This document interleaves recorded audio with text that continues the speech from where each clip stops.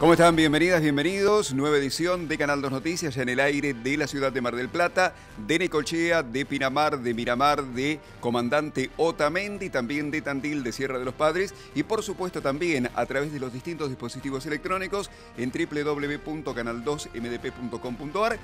La ciudad de Mar del Plata que justo a mitad de este año 2021, día 15 de junio, entonces, para ser más preciso, presenta este panorama en materia meteorológica a esta hora de la jornada. Ya estaremos sobre el cierre de esta segunda edición con la palabra del meteorólogo Alejandro Benavides, que nos va a anticipar cómo va a continuar la jornada en el día de hoy, que aparentemente tendrá una temperatura máxima que rondará los 11 grados centígrados, con algunos chaparrones durante toda la jornada.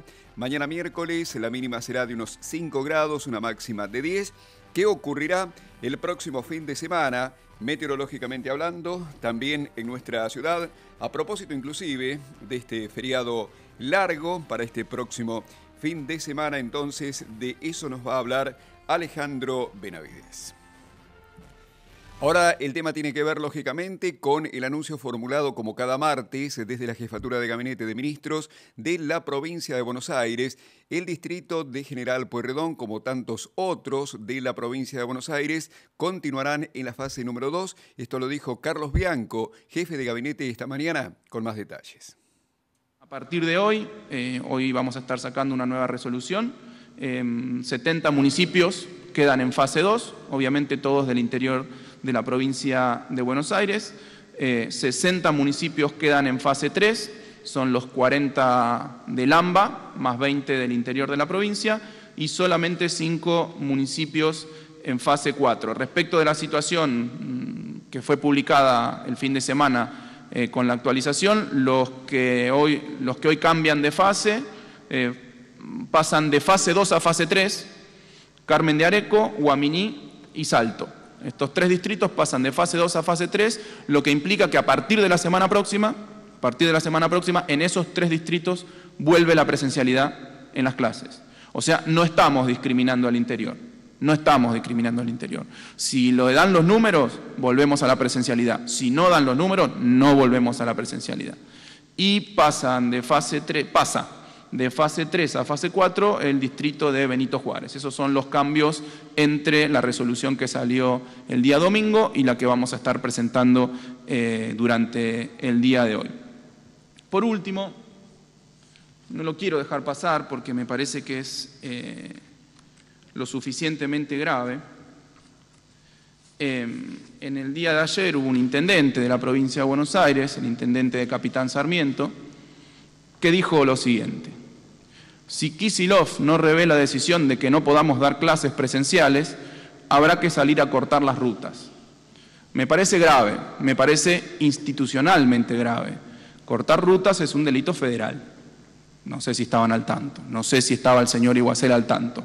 Cortar las rutas es un delito federal. Eh, lo extraño, lo extraño, más allá de lo grave de las declaraciones de, de Iguacel, que lo que le quiero decir es que muchísimas veces, hice, y le escribí directamente muchas veces a él, cuando me llegaba información de que no se cumplían para nada los protocolos en su distrito, que estaban habilitados cuando no podían estar habilitados determinadas actividades eh, económicas, que había partidos de fútbol con público, etcétera, etcétera. Cosas que yo le fui marcando a lo largo de la pandemia.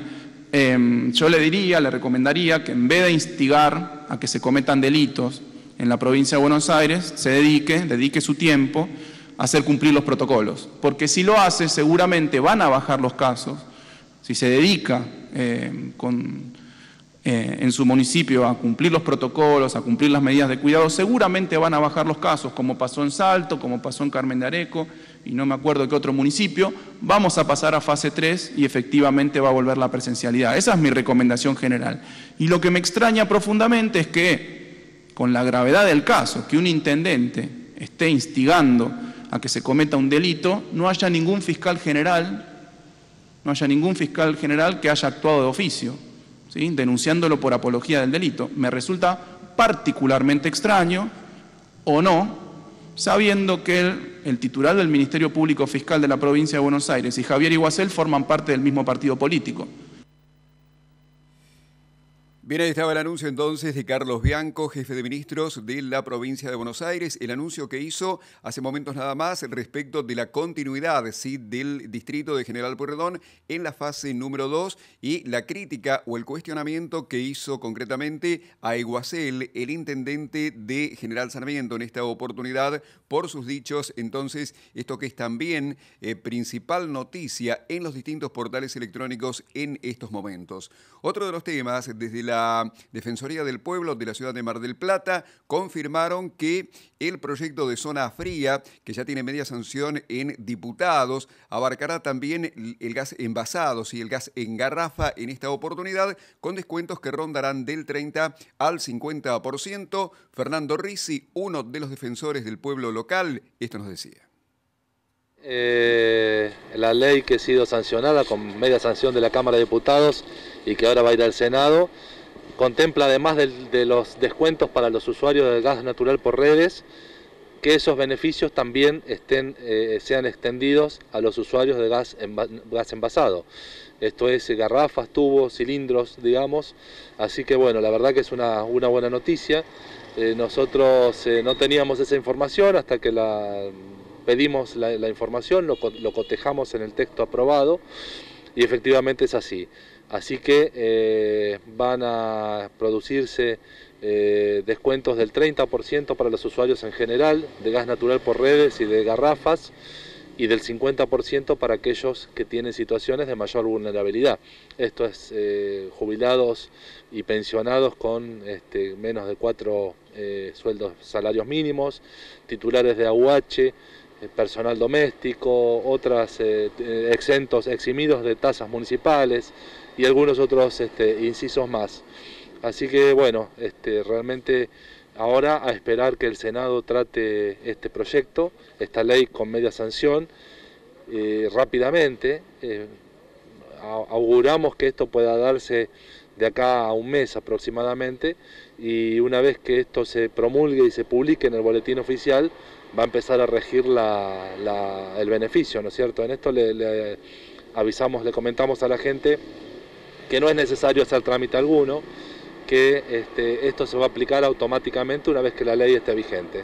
¿Para lo que es en gas envasado también no hay que hacer trámite alguno?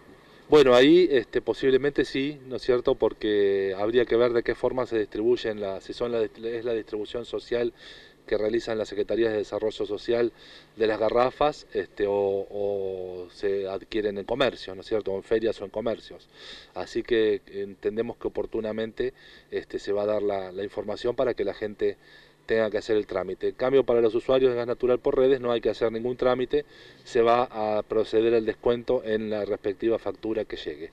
Finalmente llegó esta ley, ¿no? Y llegó para quedarse. Sí, exacto, algo que durante más de 10 años fue tan deseado y tan gestionado por muchísima gente. Nosotros hoy salíamos a agradecer también a los meteorólogos de Mar del Plata, que han sido los que han dado, digamos, la, base fáctica y científica para fundamentar el pedido y el por qué Mar del Plata estaba siendo discriminada con relación a la realidad de otras ciudades de la Patagonia Sur. Vamos a otro de los temas que tiene que ver concretamente con el dictado de clases, sí, en el marco de esta pandemia por COVID-19 en el partido de General Purredón. Dialogamos con el secretario de em, Educación de la comuna local, Sebastián Puglisi, se manifestó en favor de una presencialidad cuidada. Esto nos decía. Salieron a reclamar por una resolución provincial eh, con la que no estamos conformes, pero es una resolución de la Dirección General de Cultura y Educación. Seguimos en, virtualidad eh, y nosotros entendemos que estamos en condiciones de continuar con la semipresencialidad. Seguiremos trabajando en estos días este, para intentar revertir la situación. De todas maneras, aceptamos esto que es una decisión provincial. Con unos 250 casos, como se ha mencionado en el día de hoy, este, ya estarían más cerca como para poder llegar a la presencialidad y cambiar de fase? Sí, nosotros lo veníamos diciendo, sobre todo en el sistema municipal, que es el que monitoreamos día a día. Eh, sobre más de 1.300 burbujas teníamos unas 55 aisladas, eh, eso la verdad que es una cifra muy chica. Todos los casos, cada uno de los casos son importantes, pero la verdad que en el número global nos hacía pensar que la presencialidad cuidada, siempre cuidada, con distanciamiento, con barbijo, con lavado de manos, con mucho trabajo por parte de los planteles docentes, no tenía alto riesgo en las escuelas. Eh, tendremos que seguir demostrándolo. ¿Le sorprende cómo han actuado, cómo vienen actuando los padres? Los padres están reclamando un derecho por sus hijos, están reclamando un derecho para todos los chicos, eh, por lo tanto me parece que es, lícito lo que hacen este, y, nosotros desde nuestro lugar eh, seguiremos con las actuaciones oficiales eh, para que la provincia nos escuche. Bien, vamos a otro de los temas que tiene que ver con la presencia de salud en tu barrio. ¿sí? Este sistema eh, previsto desde la Secretaría de Salud de la Municipalidad Local estará concretamente en el barrio Cerrito Sur, esto es en la calle Cerrito al 3300 de nuestra ciudad. Estará de 9 a 15. Tenemos el testimonio, en este caso de la doctora Palmiciano de la Secretaría de Salud Local, con más detalles. Toda la semana en el barrio Nuevo Golf, en la Plaza Central, eh, con este dispositivo que nos permite hacer también controles de salud de niños, apuntalando un poco a la, sala del barrio, eh, haciendo vacunación también y eh, controles de presión y diversos, y estamos con nuestro móvil de testeos para COVID.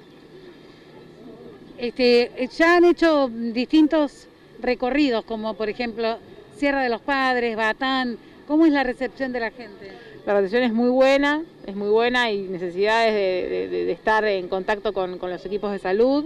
Eh, y lo mismo, acercándonos, porque muchas veces eh, los CAPS están con, mucha demanda y entonces poder estar en otro dispositivo donde la gente tiene mayor accesibilidad, donde puede acercarse ya sea en el horario que estamos a, vacunarse o, a realizar alguna consulta de todo tipo. A veces nos preguntan también por la posibilidad de ser contacto estrecho, toda esa duda particularmente del COVID después cuestiones de salud en general, ¿no? Más allá del COVID, la gente se han encontrado con que hay un panorama bastante difícil con respecto a la vacunación en general de los niños. Sí, sabemos que con respecto al año pasado, con, la situación de quedarte en casa y de, de no tener este, mm, posibilidad de acceder, eh, se han disminuido mucho los calendarios de vacunas.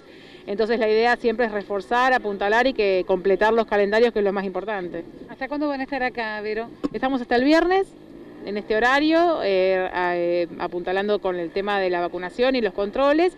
Y nuestro móvil de, de hisopado, de testeos, el viernes, justo estamos hasta el jueves, y el viernes nos vamos a, a otro barrio buscando también dar la accesibilidad de los hisopados. Saben ustedes que desde el pasado fin de semana ya pueden ir a vacunarse sin inscripción previa aquellos mayores de 60 años de edad que no hayan hecho el trámite correspondiente para recibir la vacuna. Sí, lo pueden hacer y yendo munidos en esta oportunidad a cualquier vacunatorio en la provincia de Buenos Aires con el documento nacional de identidad. En este particular, eh, desde el PAMI recomiendan precisamente a aquellas personas que no se hayan anotado, que no hayan recibido la vacuna, mayores de 60 años de edad, que lo hagan porque es una forma muy importante de protegerse.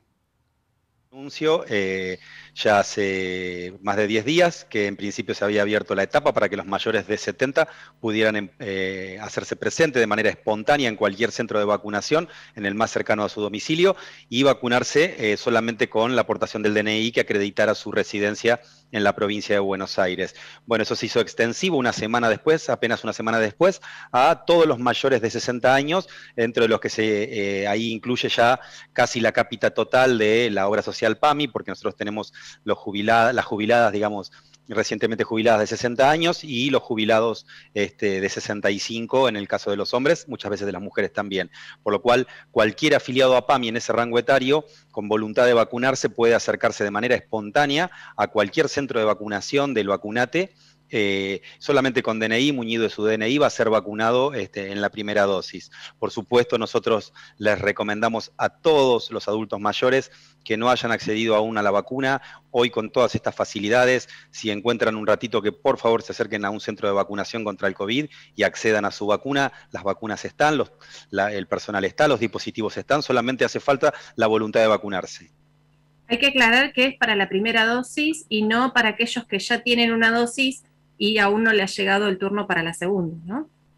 Eso es correcto. Todos aquellos que han tenido la primera dosis van a recibir de la manera que habían recibido el turno para la primera dosis, el turno para la segunda dosis, de acuerdo al tipo de vacuna este, con cual haya sido vacunados, digamos la de origen chino, la de origen ruso, la de origen este, de India, van a ser turnados de acuerdo a los stocks que hay de esa vacuna para la aplicación de la segunda dosis. Estamos hablando exclusivamente de aquellos que no han, eh, no han accedido a la primera dosis de la vacuna contra el COVID. Y luego, por supuesto, con esos datos van a ser citados para la segunda dosis. Quedan muchas personas mayores de 60 años, bueno, hablando acerca de este anuncio, que aún no han sacado el turno o aún todavía no han acudido a ningún vacunatorio. Sí, quedan. Eh, nosotros, entendiendo eh, entre los distintos dispositivos eh, de administración de la salud de los adultos mayores en el territorio de General Pueyrredón, en el caso donde estamos ahora, este, sabemos que todavía hay algunos miles de, de, personas mayores de 60 años, activos o inactivos, esto es jubilados o no jubilados aún, que no han accedido a la vacuna por distintas razones. A todos ellos recordarles siempre que estamos recomendando la vacuna contra el COVID, es la herramienta, la única herramienta a nivel global probada para combatir esta situación pandémica, por lo cual este, cualquier inquietud que tenga, cualquier información que requieran para, para llevarles tranquilidad, para llevarles seguridad en torno a la aplicación, que por favor se comuniquen con nuestras líneas, con las líneas del Ministerio de Salud de la provincia, que van a recibir ahí toda la información que necesiten en torno a la vacuna para poder generar la confianza que necesiten para poder presentarse en un centro de vacunación y vacunarse contra el COVID. Otro de los temas en esta segunda edición de Canal 2 Noticias tiene que ver en esta oportunidad con la entrega de importantísima cantidad de mobiliario eh, llevada a cabo por parte de la provincia de Buenos Aires a escuelas del distrito de General Pueyrredón con un monto de 13 millones 700 mil pesos en concepto precisamente de este tipo de elementos, muy valioso por cierto, en las aulas de las escuelas. Alejandro Mobilia es consejero escolar del partido de General Pueyrredón. Habló con nuestro canal, esto nos decía. Eh, la provincia de Buenos Aires ha decidido eh, realizar una inversión muy importante específicamente para reponer eh, y comprar mobiliario escolar nuevo. Se tratan de 13 millones 700 mil pesos que ya se han estado entregando la semana pasada y que se van a seguir entregando a lo largo de de las siguientes semanas a través del Consejo Escolar. Se trata de mobiliario que es para, para 54 escuelas del distrito, eh, para todos los niveles, inicial, primaria, especial, secundaria, que se está entregando y que entendemos significa una respuesta ante eh, una demanda que eh, lleva mucho tiempo en nuestro distrito. Este, una buena noticia, ¿no? Por sobre todas las cosas, en estos tiempos que corren, traer mobiliario, más allá de que la escuela no esté en presencialidad? Bueno, en el marco de un programa de mantenimiento integral de los edificios que está realizando la provincia de Buenos Aires a lo largo de lo ancho de la provincia, este, se están haciendo diferentes cosas, ¿no? Independientemente de la fase que atraviesen los distritos, que eso ya es medida sanitaria, no, no política educativa, eh, se están pintando escuelas, se están reparando escuelas, se están haciendo obras de envergadura y bueno, y también llegó este mobiliario escolar eh, que se está entregando que además también incorpora escritorios docentes, que también incorpora pupitres, sillas para, para jardín específico eh, y para los demás niveles, así que estamos muy contentos por esta noticia que era muy necesaria para el distrito. Y otro de los temas tiene que ver también con una iniciativa en la cual están trabajando desde hace mucho tiempo los jóvenes de la estación. Son jóvenes que trabajan en pos del medio ambiente, del cuidado del medio ambiente en la ciudad de Mar del Plata, eh, colocando eh, colilleros en distintos sectores de la ciudad, en plazas, en lugares céntricos, etcétera, etcétera. Más de 40 ya llevan colocados y están pidiendo que en los barrios también se repita este tipo de eh, de estos envases invertidos donde el fumador puede eh, disponer allí la colilla de su cigarrillo y no tirarla en un cantero o en el piso con la contaminación que esto conlleva. ¿no? Tenemos el testimonio de Consuelo y de Mercedes en la siguiente nota. Nada más pudimos concretar la instalación de 46 colilleros en distintos espacios públicos de la ciudad, plazas como esta donde estamos ahora, el corredor costero, en algunas paradas de taxi, de colectivos, donde suele juntarse mucha gente. Y bueno, la intención es que ahora que están instalados, la gente los use, ¿no? Los use debidamente, tiren sus colillas y nos ayuden a cuidarlos. ¿Cómo ha sido la repercusión? La verdad que, bueno, todos los medios locales nos, nos abrazaron con la noticia y le dieron mucha difusión, estamos muy agradecidas por eso. La gente los está empezando a usar, todavía obviamente no se conocen y hay como un poco de dudas sobre cuáles son los mejores usos posibles, pero la realidad es que la repercusión es muy buena y cuando los íbamos instalando, de hecho nos pasó a todos los, los grupos que salimos que la gente agradecía que estemos disponiendo de un espacio específico para tirar colillas, que si no las vemos, terminan en el piso, en el cantero. Si bien ustedes instalaron más de 40 colilleros, ¿cualquier vecino en algún barrio puede tomar esta iniciativa? Sí, la idea es que puedan seguir el modelo de los colilleros que ya están instalados y que si tienen algún bidón, ya sea de agua, eh, de alcohol en gel, de 5 litros, eh, y no sé, si tenés un negocio o si simplemente sos un vecino que ve muchas colillas tiradas en la esquina de tu casa, que puedan instalar y hacer su propio colillero. Eh, y bueno, nada, que sigan instalando por su cuenta o bueno, también nosotros seguimos juntando materiales para instalar más. La idea es superar los 50, así que bueno, también los recibimos eh, en nuestro grupo de la estación.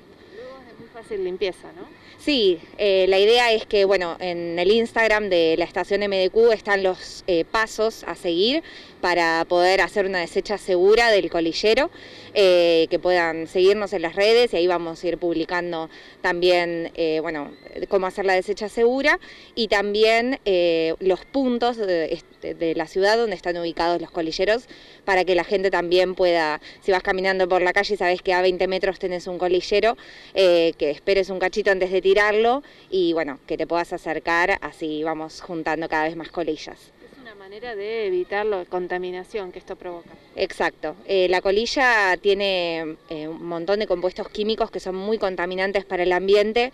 Eh, casi 7.000 sustancias químicas, que la idea es que, bueno, que no lleguen al mar, eh, porque, bueno, por las bocas de tormenta o simplemente por la playa, eh, llegan al mar y, bueno, son muy contaminantes. Una sola colilla contamina 50 litros de agua, así que, bueno, la idea nuestra es que justamente no llegue a, a las napas ni al mar. Otro de los temas en esta segunda edición de Canal 2 Noticias han crecido aproximadamente un 600% los distintos delitos virtuales. En esta oportunidad, desde la eh, Fiscalía de Delitos Económicos brindan algunas recomendaciones para no ser presa precisamente de este tipo de cuestiones. El testimonio de Sandra Lamperti, esto nos decía. En 2020 con el, tema del COVID y del tener que pasarnos toda nuestra vida a la esfera digital hizo que, se, hubiera una sobreexplotación, digamos, de las maniobras. Un crecimiento muy eh, dinámico, eh, muy sostenido. Nosotros en Mar del Plata particularmente tuvimos un crecimiento del 600% de las causas y este año notamos que sigue en aumento y, por ejemplo, prácticamente la mitad del trabajo de la Fiscalía, de lo que ingresa, es, eh, tiene algún componente digital. Así que es mm, notorio el, el, crecimiento. ¿Cuáles son las estafas más frecuentes? Las más frecuentes tienen que ver eh, más que nada con eh, temas de defraudación informática, le llamamos nosotros, es una calificación especial del código, que tienen que ver con maniobras que les hacen a las personas con tipo cuentos del tío, donde les piden que eh, con alguna excusa, alguna, alguna cuestión en particular, el año pasado fue el tema del IFE, después puede ser un sorteo, ahora lo están usando a partir de, de cuestiones de compraventa en, en redes sociales, les hacen un engaño donde les dicen que eh, necesitan el CBU para hacer una transferencia, la gente cree que, digamos, es una, relación, que es algo creíble, digamos, ¿no? Entrega el CBU y después eh, aluden a algún inconveniente técnico en donde dicen que se les van a contactar desde el banco eh, para, eh, para, digamos, para solucionar el, error del que se trate. En el caso de, del tema de, las compraventas que estamos viendo actualmente, tiene que ver con que les entregan comprobantes falsos a las personas entonces eh, les dicen que se equivocaron en un número, en el, que pusieron algún cero de más, entonces se va a comunicar una persona del banco para solucionar el tema. La gente cree que esto es real y eh, toma contacto con la entidad bancaria, con la entidad bancaria, con quien dicen ser de la entidad bancaria, en realidad no lo son, y entregan, eh, les, los van guiando para que entreguen los datos de acceso al home banking. A veces viene disfrazado de que concurras al cajero para terminar la operatoria y a veces viene con la idea de que em, de, que llega algún mail en particular donde piden una serie de códigos que es el número con el que, eh, que se llama token, que es el que permite habilitar el home banking. ¿Cuáles son las recomendaciones y ante una posible estafa virtual, cómo se debe proceder? Bien, las recomendaciones es, eh, bueno, en no entregar ningún tipo de información personal a, nadie que nos pida nada por teléfono. Ellos nos dicen, eh, justamente dicen, nosotros no le vamos a pedir ningún código, ninguna clave. Pero después, en el relato, van llevando a que entregues esa información. Entonces, es no entregar ninguna información, cortar con todo tipo de comunicación y es prestar mucha atención, tener mucho cuidado con todo tipo de operación en Internet. Y ante cualquier estafa virtual o presunción, eh, ¿debe denunciarse a la policía? Sí, se puede denunciar en la comisaría más cercana y si no en denuncias mar del plata arroba eh, que es la dirección del Ministerio Público para hacer denuncias, y también ante las entidades bancarias hacer el reclamo y también eh, ante defensa del consumidor en algunos casos también se puede reclamar. Siempre va a depender mucho del tipo de operación que se esté llevando a cabo en Internet.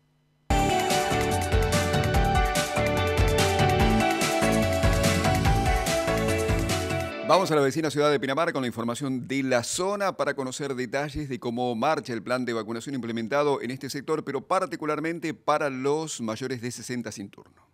Ya la comenzamos, eh, no hay mucha gente igualmente sin turno, la mayoría ya eran todas patologías de riesgo, así que ya se han ido vacunado la mayoría de gente. Pero sí se está dando el aviso que venga a vacunarse toda la gente mayor. ¿Qué pasa en los casos donde la gente todavía no quiere vacunarse? ¿Qué, ¿Cuál es la recomendación? La recomendación es que se anoten. Hay mucha gente que no se ha anotado y no es porque no quieran vacunarse, sino que no saben cómo ingresar al sistema. Ese es uno de los problemas más serios que hemos tenido. Lo ideal es que se acerque a algún familiar, si no, y que lo anoten acá.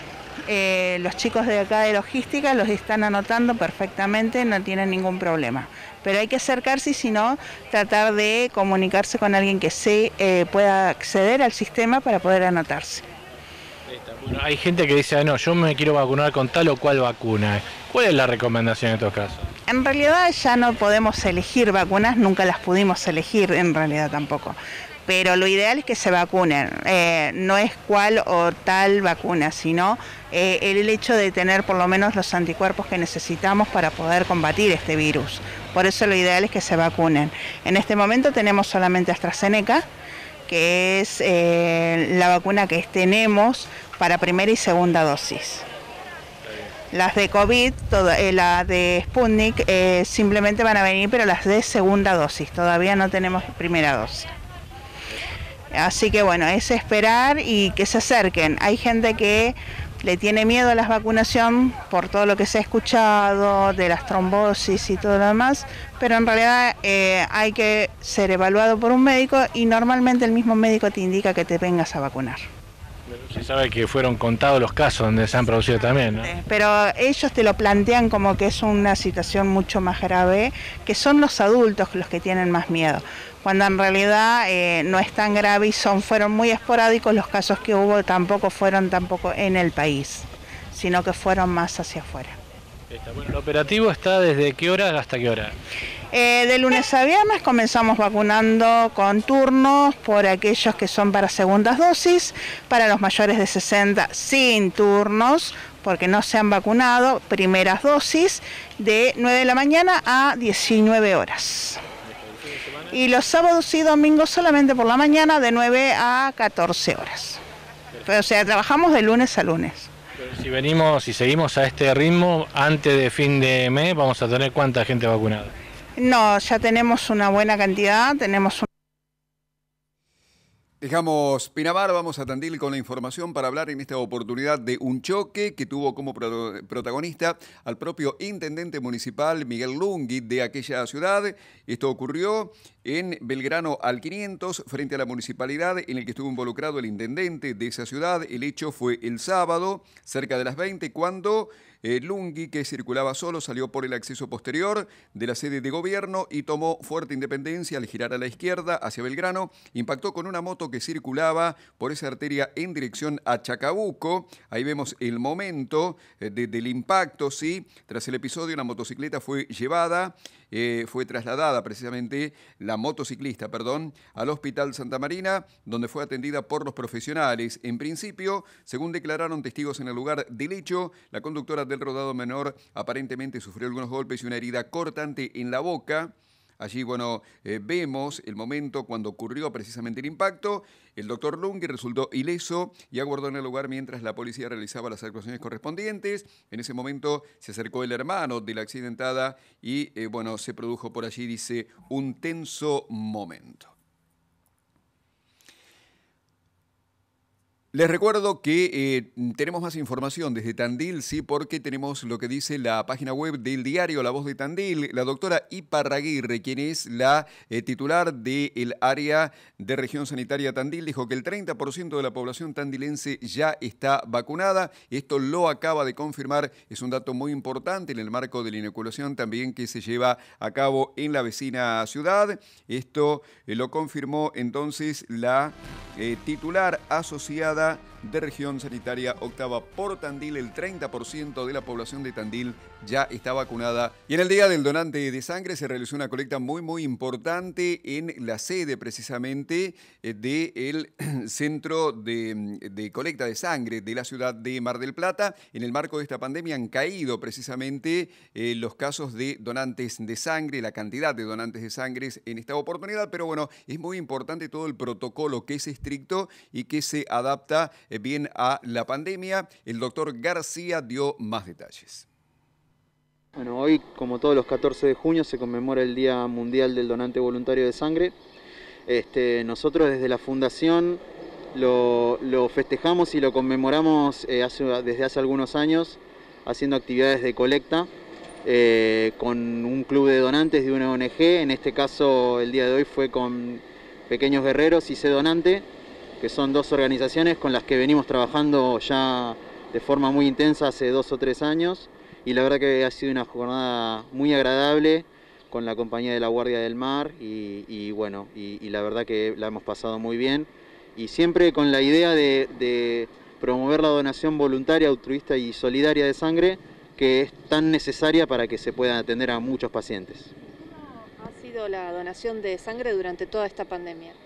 Bueno, nosotros hemos venido identificando las, los, potenciales debilidades y, el, potencial problema desde antes de que ocurra. Esto al haberse eh, producido primero en, bueno, en China y después en Europa, hemos tenido la posibilidad de anticiparnos y adoptar algunas medidas para poder lograr sostener la donación de sangre eh, lo hemos cumplido, eh, hemos podido este, sostener la, demanda que, había de, hemocomponentes en la Mar del Plata y la zona, pero hay mucho por hacer todavía. También este, nos hemos puesto como objetivo aumentar el porcentaje de donantes voluntarios, que es tan importante para que ya no exista más ese pedido de donantes a todos los pacientes que tienen algún problema de salud o que se tienen que operar y demás. Así que bueno, vamos por ese objetivo con un trabajo muy fuerte y, bueno, a eso apuntamos. Bien, ya vamos al pronóstico del tiempo que va a ocurrir hoy en esta jornada de día martes 15 de junio. ¿Qué va a ocurrir también con las temperaturas que han marcado ya un descenso eh, respecto de las temperaturas máximas y también las temperaturas en las primeras horas de la mañana? De esto nos habla Alejandro Benavides después de haber pasado un, buen fin de semana, eh, las condiciones empezaron a cambiar, la temperatura a disminuir debido a un gran anticiclón que entra desde la Patagonia con viento del sector sur-sudoeste.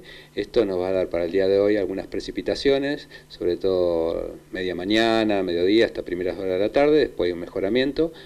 La mínima también se va a notar ese cambio porque las mínimas ya empiezan a ser de 3-4 grados y las máximas escasamente 12 grados, 13 es un poco la constante de esta semana con la inestabilidad.